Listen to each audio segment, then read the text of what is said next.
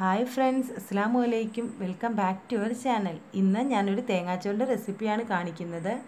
ഉമ്മാടെ സ്പെഷ്യൽ തേങ്ങാച്ചോറാണിത്. വളരെ എളുപ്പത്തിൽ ടേസ്റ്റി ആയിട്ട് നമുക്ക് പെട്ടെന്ന് തന്നെ ഉണ്ടാക്കാവുന്ന ഒരു തേങ്ങാച്ചോറാണിത്.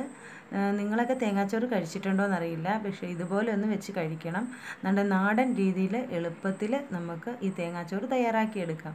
തേങ്ങാച്ചോറിന്റെ കൂടെ ബീഫ് ഒലത്തിയതോ ചിക്കൻ കറിയോ എന്താണെങ്കിലും കുഴപ്പമില്ല. നമുക്ക് നല്ല ടേസ്റ്റിയാണ് ഇന്നിവിടെ ചിക്കൻ കറിയാണ് തേങ്ങാച്ചോറിന്റെ കൂടെ സെർവ് ചെയ്യുന്നത്. അപ്പോൾ നമുക്ക് എങ്ങനെയാണ് ഈ തേങ്ങാച്ചോറ് റെഡിയാക്കുന്നത് നോക്കാം. ചോറ് റെഡിയാക്കാനായിട്ട് ആദ്യം തന്നെ തേങ്ങ ചിരകിയെടുക്കണം. ഇത് വലിയൊരു തേങ്ങ എടുത്തതാണ് ചെറിയ തേങ്ങ ആണെങ്കിൽ ഒരു ഒന്നര തേങ്ങ വരെ എടുക്കണം. ഒരു തേങ്ങ ചിരകിയത് നമുക്ക് മിക്സിയുടെ ജാറിലേക്ക് ഇട്ട് കൊടുക്കാം. അതിലേക്ക് ഒരു മുക്കാൽ ടീസ്പൂണോളം മഞ്ഞൾപ്പൊടിയും ഒരു അര സ്പൂണോളം പെരിഞ്ജീരകവുമാണ് ഇട്ട് കൊടുക്കുന്നത് വലിയ ജീരകം.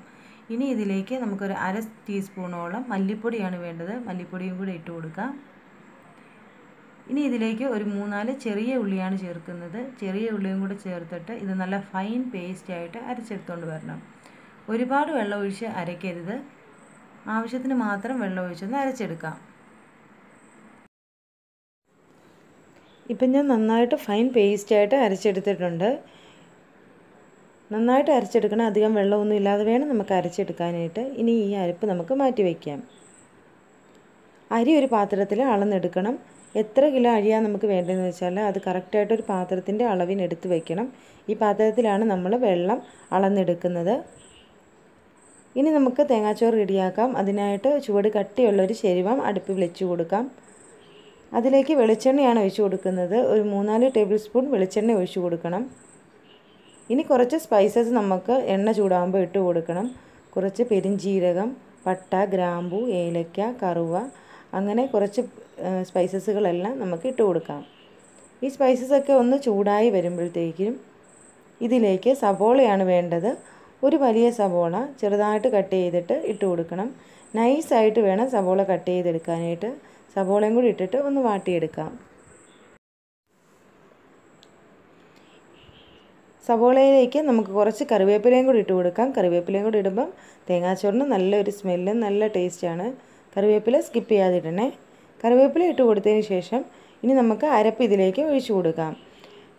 അരിയെടുത്ത പാത്രത്തിന് അരപ്പാത്രം അരപ്പുണ്ടായിരുന്നു. തേങ്ങയുടെ അരപ്പുണ്ടായിരുന്നു. അതങ്ങോട്ട് ഒഴിച്ചു കൊടുത്തിട്ട് ആ മഞ്ഞപ്പൊടിയുടെ സ്മെല്ലൊക്കെ ഒന്ന് മാറുന്നിടം വരെ ഒന്ന് നമുക്ക് വഴറ്റിയെടുക്കാം. അരപ്പിന്റെ സ്മെല്ല് മാറിയതിന് ശേഷം അരപ്പൊന്ന് ചൂടായി വന്നതിന് ശേഷം നമുക്ക് വെള്ളം ഒഴിച്ചു കൊടുക്കണം. വെള്ളം ഞാനിവിടെ വെള്ളം തിളയ്ക്കാൻ വെച്ചിരുന്നു. ആ തിളച്ച വെള്ളമാണ് ഒഴിച്ചു കൊടുക്കുന്നത്. അല്ലെങ്കിൽ സാധാ പച്ചവെള്ളം ഒഴിച്ചു കൊടുത്താലും മതി. കുഴപ്പമില്ല. പെട്ടെന്ന് അരപ്പിലോട്ട് ഒഴിച്ചാൽ പെട്ടെന്ന് തിളച്ച് കിട്ടുമല്ലോ അതുകൊണ്ടാണ് ഞാൻ നേരത്തെ തന്നെ വെള്ളം തിളപ്പിച്ച് വെച്ചത്. വെള്ളത്തിന്റെ അളവെന്ന് പറഞ്ഞാൽ നമ്മൾ അരി എടുക്കുന്ന പാത്രത്തിന് രണ്ടര പാത്രം വെള്ളമാണ് ഒഴിക്കേണ്ടത്. നല്ല വേവുള്ള അരിയാണെങ്കിൽ കുറച്ച് ഒരു ഒരു രണ്ടേ മുക്കാൽ പാത്രമൊക്കെ വെള്ളം വരെ ഒഴിക്കാം. അതിൽ കൂടുതൽ വെള്ളം ഒഴിക്കേണ്ട. ചോറ് ഒത്തിരി വെള്ളമായി പോകും.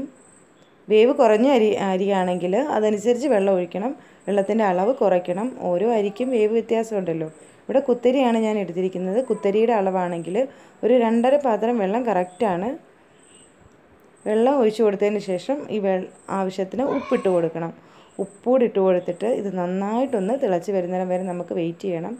എന്നിട്ട് വേണം അരി ഇട്ട് കൊടുക്കാൻ.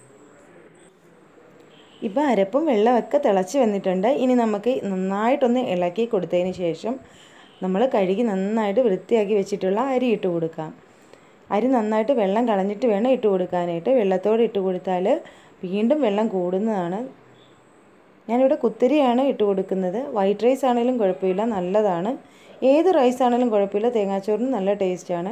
റേഷനരി ഇട്ടും തേങ്ങാച്ചോറ് വെക്കാൻ നല്ല ടേസ്റ്റ് തന്നെയാണ്. അപ്പോൾ വെള്ളം നമ്മൾ കുറച്ച് വേണം ഒഴിക്കാനായിട്ട്. അധികം വേവില്ലാത്ത അരിയാകുമ്പോൾ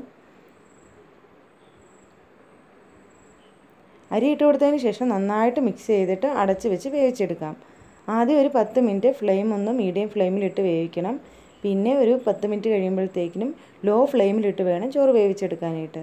ഇടയ്ക്കിടയ്ക്ക് നന്നായിട്ടൊന്ന് മിക്സ് ചെയ്ത് കൊടുത്തുകൊണ്ടിരിക്കണം ഇപ്പോൾ ഒരു ഹാഫ് വേവ് ആയിട്ടുണ്ട്. നന്നായിട്ട് വെള്ളമൊക്കെ ഉണ്ട്. ഇനി ഇത് വെന്ത് കഴിയുമ്പോൾ വെള്ളമൊക്കെ നറ്റി നല്ല കറക്റ്റ് പരുവത്തിനായിട്ട് കിട്ടും. പിന്നെ നന്നായിട്ട് വേട്ടണം. ഇടയ്ക്കിടയ്ക്ക് ഇതുപോലെ ഒന്ന് മിക്സ് ചെയ്ത് കൊടുക്കണം തുറന്ന്. ചോറ് വേകുന്നിടം വരെ നമുക്ക് വെയിറ്റ് ചെയ്യാം. അങ്ങനെ നമ്മുടെ തേങ്ങാച്ചോറ് ഇവിടെ റെഡി ആയിട്ടുണ്ട്. നന്നായിട്ട് വെന്ത് കിട്ടിയിട്ടുണ്ട്. കണ്ടോ ഇപ്പം നന്നായിട്ട് വെന്തിട്ടുണ്ട് ചോറ്. നമ്മൾ ഉടച്ച് നോക്കുമ്പോൾ നന്നായിട്ട് വെന്തിട്ടുണ്ട്.